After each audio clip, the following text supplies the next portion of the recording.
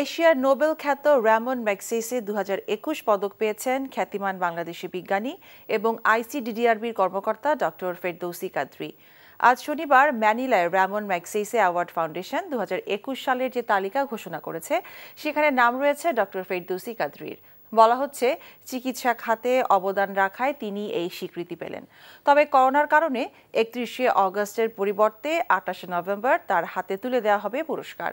ফেরদৌসি কাদরিকে বলা হয় প্রতিষেধক বিদ্যা এবং সংক্রামক রোগ গবেষণাকারী এবং উন্নয়নশীল দেশে শিশুদের সংক্রামক রোগ চিহ্নিতকরণ এবং বিস্তার রোধে তিনি গুরুত্বপূর্ণ অবদান রেখে আসছেন। প্রায় পঁচিশ বছর ধরে তিনি আইসিডিডিআরবিতে কলেরার ভ্যাকসিন উন্নয়নে কাজ করেছেন। দু হাজার বিশ সালে তিনি L'Oreal UNESCO women in science award লাভ করেছিলেন।